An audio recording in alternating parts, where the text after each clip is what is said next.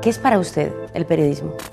El periodismo es tener la posibilidad de ayudar a, gente que a veces te tiene como último recurso.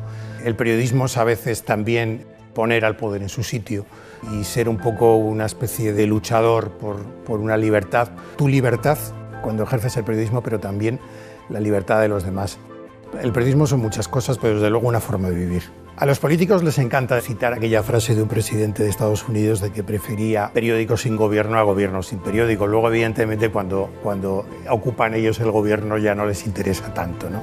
Le abrimos un universo de un periodismo mucho más profundo, mucho más interpretativo, un periodismo que al final es necesario, y donde realmente se ha hecho un periodismo comprometido, un periodismo cercano, un periodismo que buscaba la verdad porque conoces la persona a la que le tienes que contar la verdad, era en el periodismo local.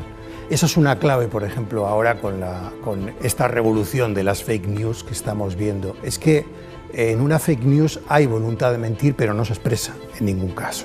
Si pienso, por ejemplo, en, en información, en el periódico que dirijo, tengo que pensar en que la gran clave de las noticias que hacemos todos los días es que nosotros pensamos en el público, en las personas, en la audiencia, en los lectores a los que va destinados. Ahí está realmente la química, la clave, y yo creo que esa química se va a seguir produciendo entre Alicante e información porque en cierta manera son dos conceptos indisolubles que no se explica el uno sin el otro.